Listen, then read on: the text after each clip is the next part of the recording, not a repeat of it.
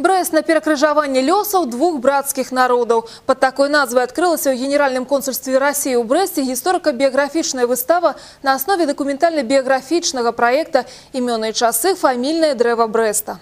Князь Федор Касаткин-Ростовский, русский ремарк Александр Лебяденко, полярный летчик Илья Мазурук, мастак Аполлинарый Гараўскі – Што аб'ядноўвае гэтых людзей, а тое, што ўсе яны маюць самае непасрэднае дачыненне да Брэста.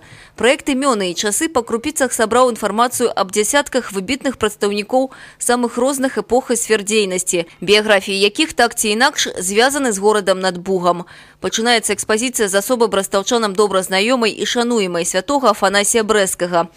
Далей музыканты, кампазітары, мастакі, літаратары, ваенныя бізнесмены – Проект распавядае мноства цікавага аб канцэрце Сергея Рахманінова ў летнім садзе Брэст-Літоўска, аб Александра Гельмерсене, першым дырэктары Брэст-Літоўскага кадэцкага корпуса, які, аказваецца, вучыўся разам з Пушкіным, а потым навучаў Лермантава, аб брэсцкіх родзічах Александра Бенуа і шмат-шмат іншым, што аб'яднала гісторыю горада над Бугам з рускай гісторыяй.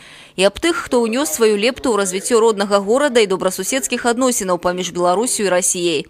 Продолжальник славы своего роду и заснавальнік дынастыі Михаил Машэнскі немало зрабіў для эканомікі і сацыяльнай сферы горада і стаў першым на прасторах СНД прадпрымальнікам, у гонар якога названа вуліца. Стваральнікі экспазіцыі адзначаюць, гэта толькі малая частка здабытага аб выбітных асобах, чые біяграфіі звязаны з горадам над Бугам.